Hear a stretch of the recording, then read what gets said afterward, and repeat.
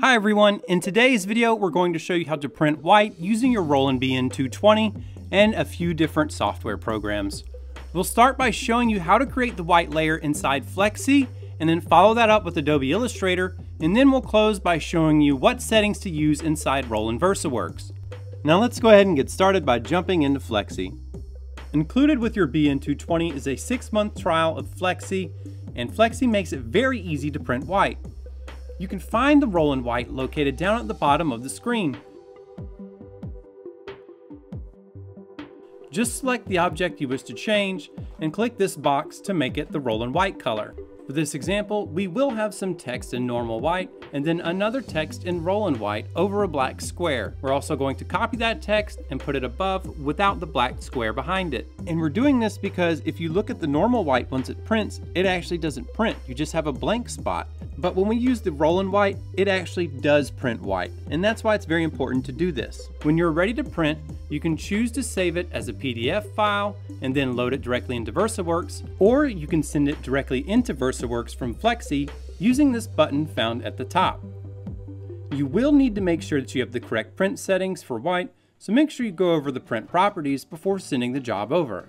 And if you're not sure what to select yet, then just wait for our VersaWorks portion of the video. Now let's head over to Adobe Illustrator. The first thing we need to do is load in our Roland VersaWorks color swatches.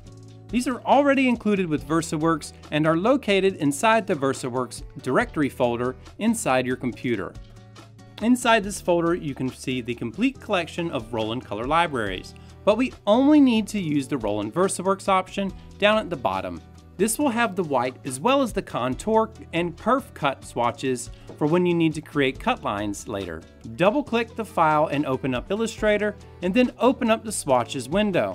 Move your cursor to the bottom left of the swatches window and then click the library icon. This will open a pop-up list and you want to select Save Swatches and save them in the default swatches folder.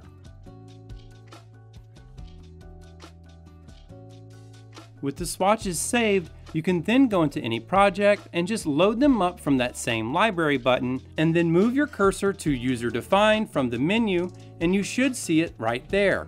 And once you click it, it will open up a new pop-up window with all of those swatches inside of it. From there, you only need to start assigning the white as needed. We will make a similar print sample as before, and once we're finished, we'll save the file as a PDF to load directly into VersaWorks. VersaWorks is the RIP software that is included with your BN2-20, so it will have some options for printing white as well. Inside VersaWorks, you need to go into the queue settings to set it to one of the white print modes. Move your cursor down to the BN2-20 queue of your choice, and then you want to click the gear icon next to the queue's name to open up the queue settings window. Inside this window, we want to select the Quality tab from over on the left side of the screen. To access the white ink options, we will need to choose the media type as generic clear film. This is one of the default media profiles included inside VersaWorks that enables the white ink options and will work fine for our demonstration. The next step is to move your cursor down to the mode and select the desired print mode. The print modes you have are CMYK, which will only use the CMYK inks. Then you have CMYK, then white on top of it. After that is white with CMYK on top. And then finally, we have the all white print mode, which just prints everything in white. You will need to use one of the three options with white to print white.